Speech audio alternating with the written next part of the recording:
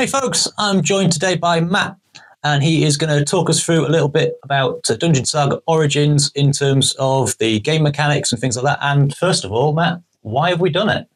Well, that's a good question. Um, so this is actually, uh, let's call this a, a, lockdown game, a lockdown project. So uh, obviously, we all spent a lot of time at home with our, our families and, um, and, things like that. Um, and uh, we were working through, through the whole of that. Um, and, uh, you know, we played a lot of board games. Certainly, my family did, and I think everyone did as well, and we were buying a lot as well.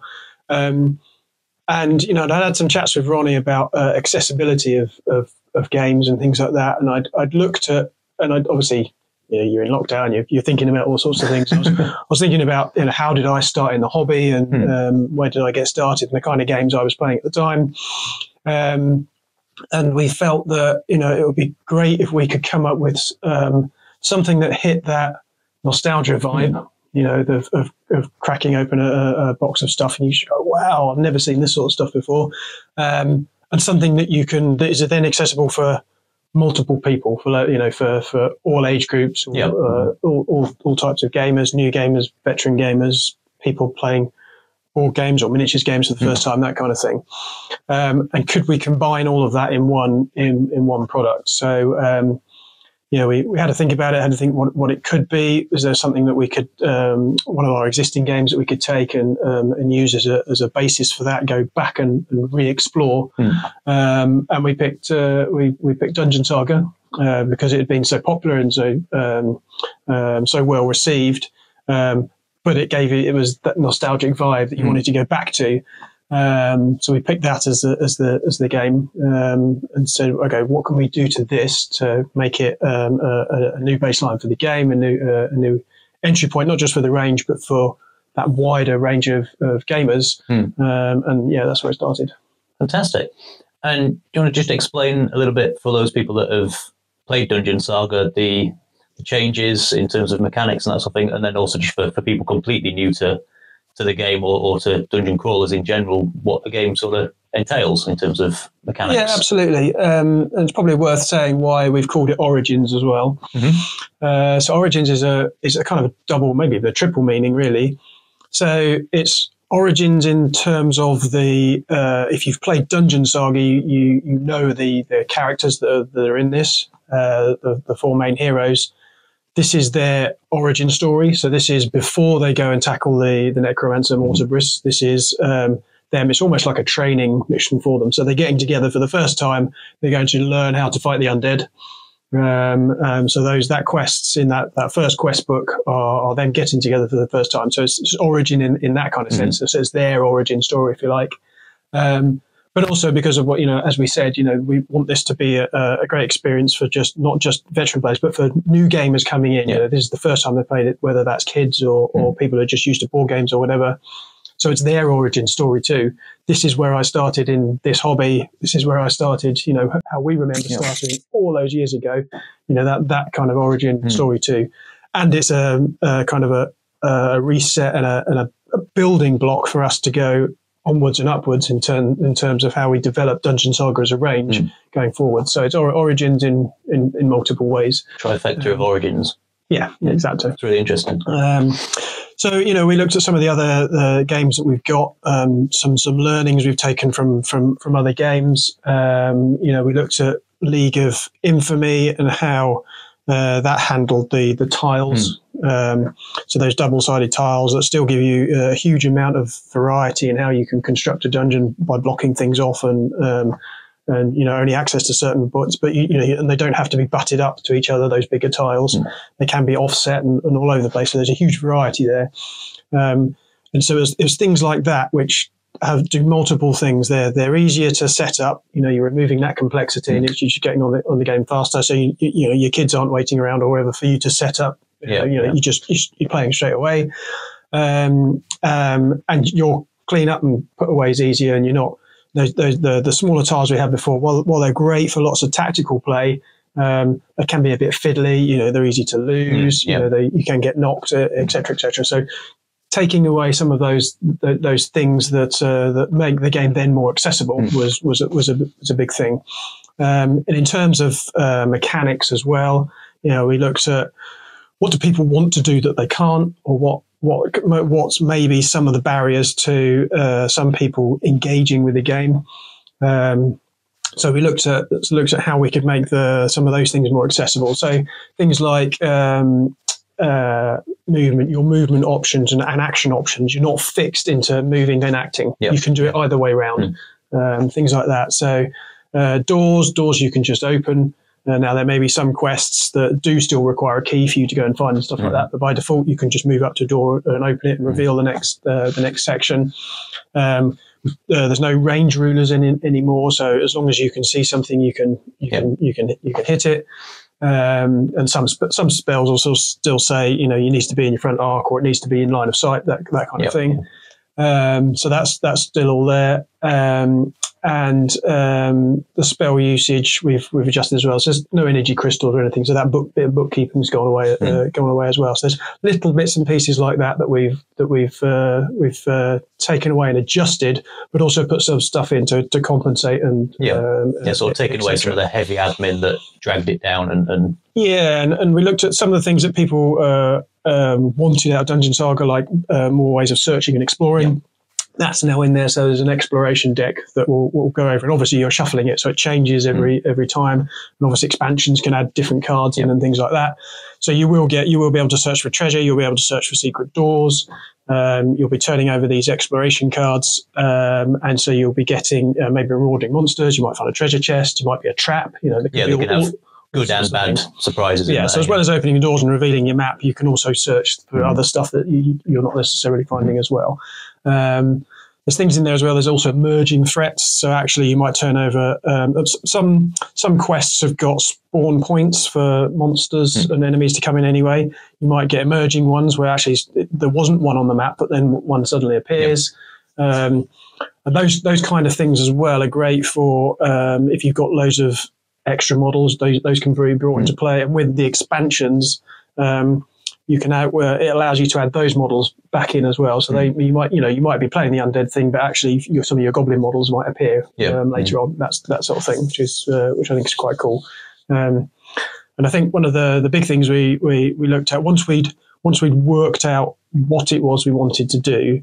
Um, and how to how to do it. Uh, then the next thing was then okay, well, how do we make this uh, not just with an overlord player, not mm. just with um, you know versus versus the players, because um, lots of people do like to play this cooperatively. You know, we were mm. talking about family games mm. and things like that, and a lot of people like to play solo as well. Um, so those uh, automated overlord rules, as we're, as, we're, as we're calling it, are uh, baked in from the from the start. Yep. So that will be in the rule book. Um, and the way that works is um, uh, you've got um, some behavior cards for the minions. Um, and then the, the, different players, obviously, if you're solo, you've taken all, all of them. You've got um, like a, head henchman mm-hmm. role who, who, does all the kind of the administrative bit for the uh, for the overlord. Um, and then you've got one which rotates on a on a round basis, which is the villain of the piece. So they get to make some of the decisions that if, if a decision needs to be made, they get to they get they get to do that. Um, so out the book, that's how it works. Now, obviously, um, that's if you're the head henchman you're, and you're playing in a group, uh, you need to not really, you know, you, you still need to control the game a bit and not reveal what the map map is because you can see that. Yep. Um, and with, with, solo, obviously, you can see it too.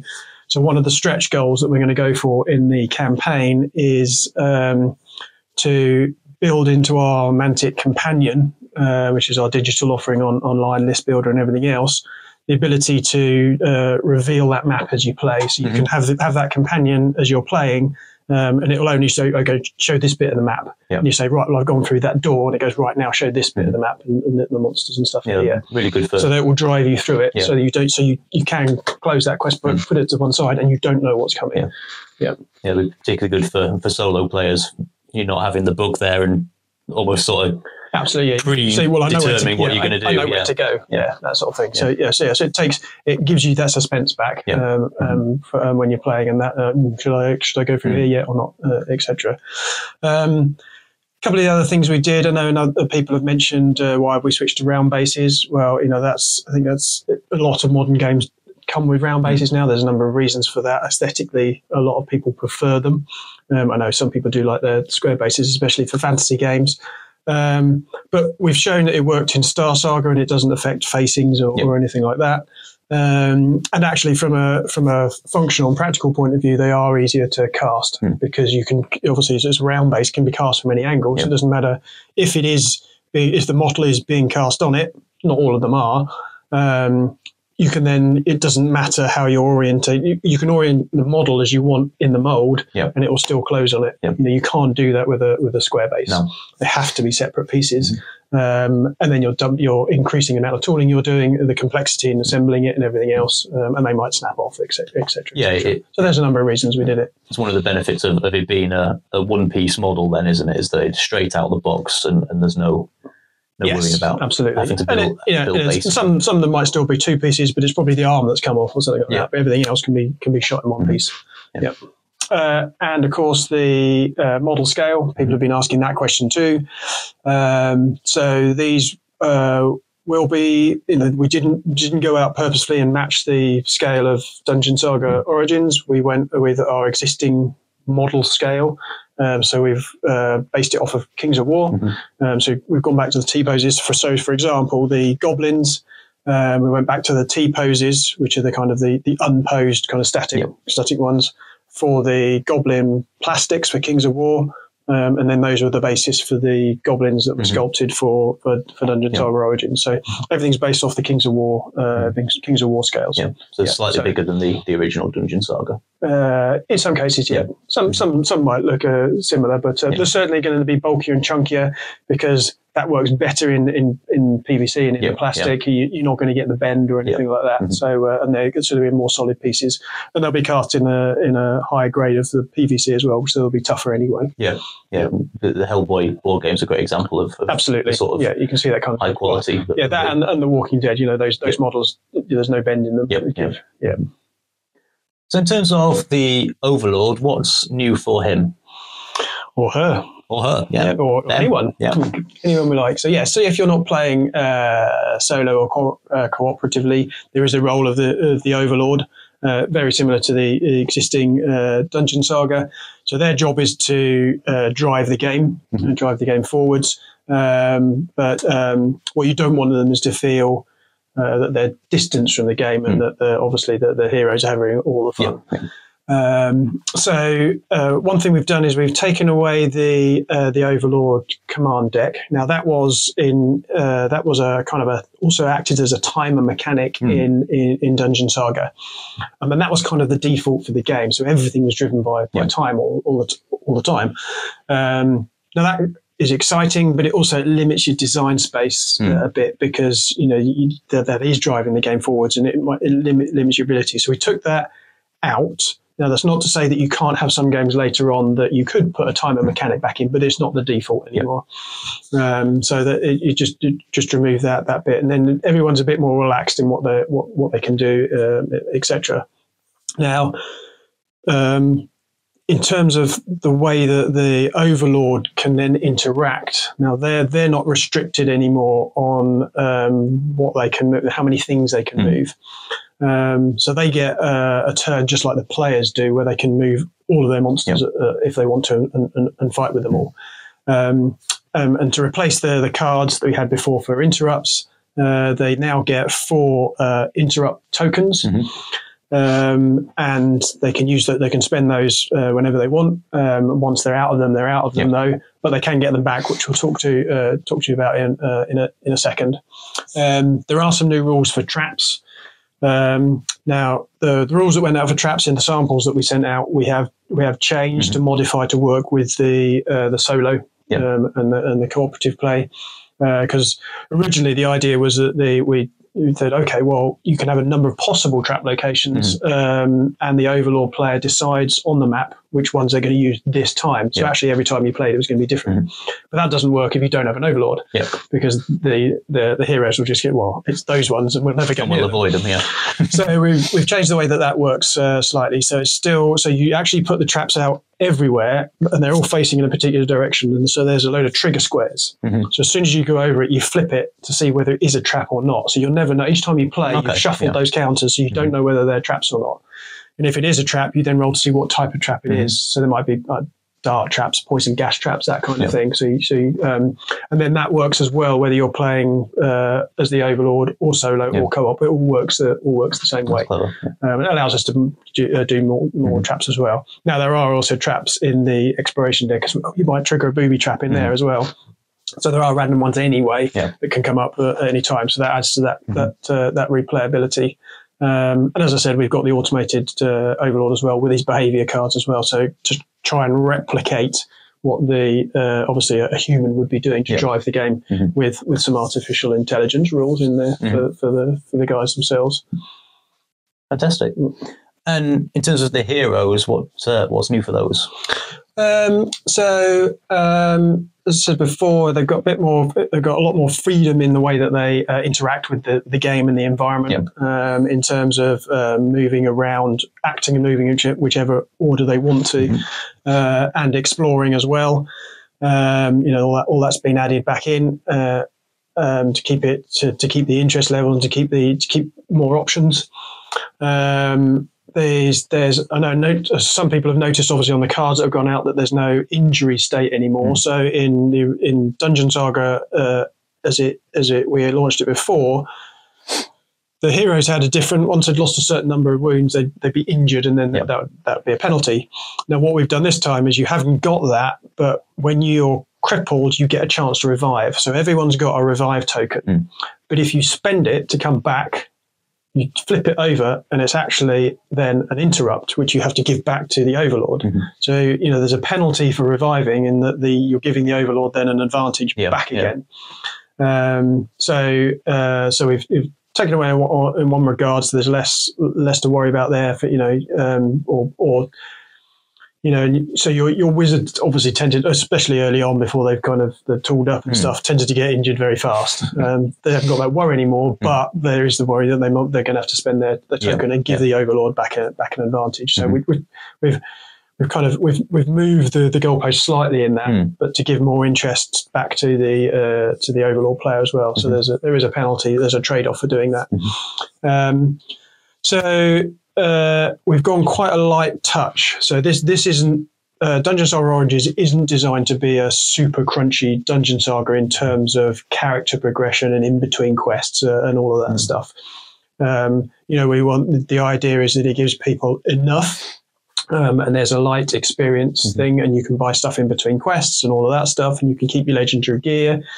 Um, but it's not it's not super super crunchy. You know, well this this is a uh, a basis for where we can go in the future Yep. with Mhm. that kind of stuff Mhm. uh, for future. You know, if we if we you know we'll, we'll uh, we will at some point uh, go uh, look at um, advanced versions of, of this game, but this is the building block. This is where Yep. we're going. Mhm. So all those people asking, well, what, what do I do with Dungeon Saga? You can continue to play with Dungeon Saga. Will there be an advanced uh, Dungeon Saga? Absolutely, but Mhm. this is the building block. This is where you want to go first, Yep. um, and then we'll Yep. advance on top of that. Mhm. But as I said, there is a light. There's a light XP thing, so you can gain um, experience for uh, for completing quests, Mhm. not getting crippled, etc., etc. You can then spend that on uh, what we're calling boons. Mhm. So there's a there's a um, like a, a pile of I think it's twelve or so different um, advantages that you can buy. Mm. But if you buy one, I can't buy it until you've used Yep. it. But it's a one-off for the next uh, for the next adventure. So it Mm. might be that I'm buying some re-rolls or extra spell use or something like Yeah. that, um, or that I can automatically ignore all damage, that kind of thing. And Mhm. when once I've spent that, it, it's gone, but it goes back in the pool. So then someone else can buy it for the next Yeah. next. Mhm. So so it's, it's a way of it's also a way of making sure that we're uh, we can uh, easily balance the uh, the adventures um, and that if you've got this expansion and you're playing it before this one you know you you're you're not having to address the whole um, well these guys have got tons of equipment now and their, Yeah. their, their stats are through the roof Mm. it's like how do I play this mission now so it keeps it it takes you to a level and then you you- you're balancing out and Mm-hmm. then you're you're having to manage your equipment and those boons and stuff that you want ra- rather than uh, doing tons of bookkeeping on, Yeah, on all yeah. the other stuff, Mhm. which we know people love and we will get to, but Mm-hmm. uh, but uh, not for this game. This is the, the accessible version. Mhm. Get people into the idea of that kind of uh, character progression and then want more. Yeah. Excellent. And what's staying the same for, for those that uh, that love the original Dungeon Saga? What sort of things can they expect that are going to be well, still very much baked yeah, in. absolutely. So we've got obviously we've got the uh, the same. We started off with the same heroes and mm-hmm. villains, so it felt felt familiar. Uh, obviously, you know the, the same kind of feats. We've used a lot of the same artworks. Mm-hmm. It starts to feel f- uh, familiar in that regard as well. Um, so the heroic feats, you can uh, you actually choose. It's you get double sided cards, and you can mm-hmm. choose one or the other yeah. to go in. So actually, each time you play, you can choose a different feat. Yeah uh, which changes it. Uh, I know people were looking and worried a bit about because there were round bases, have all the arcs gone? No, they're all still there. And as I said, we because we uh, we saw that working and had no problems in Star Saga, there's no problems for us to go mm-hmm. to go to the, the, the round bases. Um, so that's still there. So you still have your front arcs, your back arcs, uh, which are obviously your adjacent squares. So all that tactical placement is is all still there obstacles, still counting for cover. All, all, all of those those things are, are still there, mm-hmm. um, as are, as is the dice mechanic. Now we, you know, there's another question people have asked is why didn't we go for custom dice? Well, because we wanted to keep it familiar to Dungeon Saga. Mm-hmm. Uh, we've we've kept with the same dice mechanic that, that Dungeon Saga has. Um, and, and, the other reason is, uh, again, for accessibility, people coming from a board game environment or people coming, you know, or, or, kids playing their first games, that sort of thing. What are they used to? A lot of them used to just playing, you know, simple D6. That's yep, easy. Yep. That's an easy. That's one less thing to think about to mm. start playing the game. So mm-hmm. you can just get playing straight away. Mm. Yeah. Fantastic. Great. Thank you very much, Matt. That's brilliantly informative uh, look at the design process and some of the mechanics and some of the reasonings behind uh, why we've done what we've done. Yep. Um, hopefully, you'll all be really keen to jump on board. We now have a launch date. That's going to be the 30th of March at 3 p.m. That's UK time. So uh, make sure you follow along on the Kickstarter page. I'll drop a link in and uh, be there on Thursday, and we'll see you there. See you later, guys.